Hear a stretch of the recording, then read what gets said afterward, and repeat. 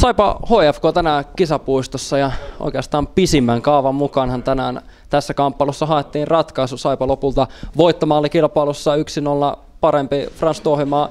Ennen kaikkea onnittelut voitosta. Sut valittiin tänään illan kamppailun ykköstähdeksi ja yhteensä 25 torjuntaa kertyi tilille. Minkälainen ilta tämä oli sulle henkilökohtaisella tasolla? No tietenkin hyvä ilta.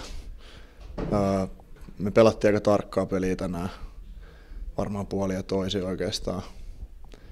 Sillä en mä nyt ikinä sano helppoilta, mutta ei varmaan niistä vaikeimmistakaan, vaikeimmistakaan päästä. Et muutama hyvä koppi tietenkin mahtuu sinne ja sitten noiden rankkar, rankkareista taistellessa voitto, niin kyllä siinä aina päivätyön saa tehdä, mutta pelattiin kyllä muuten, muutenkin joukkoja näihin peli tänään.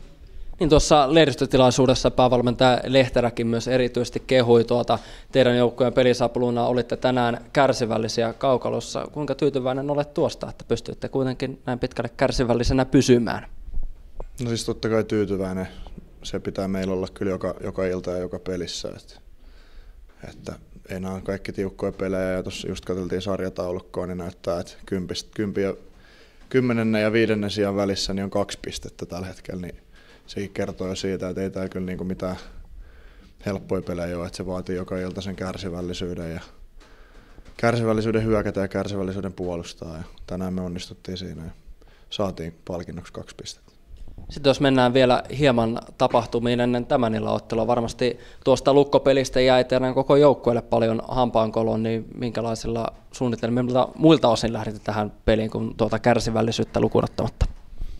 No ei varmaan ihan semmoisella, millä nyt että pelattaisiin niin kuin me osataan pelata, että sieltä ei varmaan kellekään sieltä Raumalta voi puhtaat papereita antaa muuta kuin ehkä Kalle Maalahdelle. Se siinä voisi ehkä niillä, niillä tehopisteillä ansainnut, ansainnut voittopeli sieltä, mutta en usko, että kukaan muu niin ansaitsee puhtaat papereet sieltä. Niin se on semmoinen, että sitä semmoista niin kuin ei saa tapahtua ja se mitä me pelattiin tänään, niin se pitää olla niin kuin meillä joka ikinen ilta.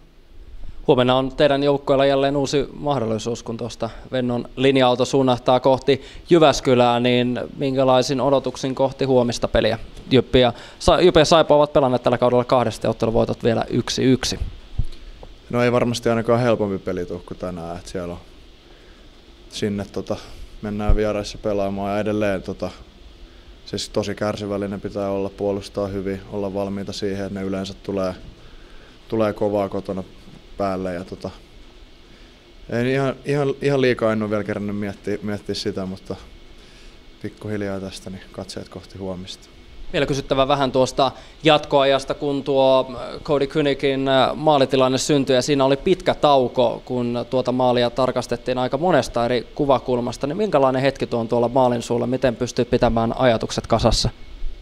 No ei siis tänään itse asiassa pakko sanoa, että kyllä hetken joutui ravistelemaan sen jälkeen, kun näki, että tuomari levitti kädet. Että se, mitä mä sen katoin, niin mä en itse, vaikka niin kuin usein, usein maalivahtia puolusteleekin ja yhdessä maalivahtien puolesta niin kuin puhutaan, niin jos toi on maalivahdin estäminen, niin taas liikas ei olisi pitänyt kyllä yhtäkään maalia hyväksyä vielä. Et ei niin kaveri ajaa maalille ja en, en, no, en, en mä enempää sano, ehkä toi kertoo kaiken. Et kyllä mä, mä, olin siis ihan täysin varautunut siihen, että me voitettiin se peli ja sitten yhtäkkiä siinä onkin vielä pari minuuttia pelattavana, niin kyllä sitä hetkeä joutui, joutui vähän kylmää vettä naamalla ruiskuttaa ja ravistella itsensä taas, että hemmetti, että tässähän on vielä muutama minuutti pelin jäljellä. Ja no, onneksi saatiin voittoja ihan sama määrä pisteitä kuin mitä se jatkoaika maali, joka me oltaisiin ansaittu, niin olisi myös tuonut. Jos käännetään vielä nyt toisinpäin, vaikka tätä yleensä saisi ehkä käännellä, mutta jättikö sitten vähän jopa nälkää entistä enemmän tuohon voittomaalikilpailuun?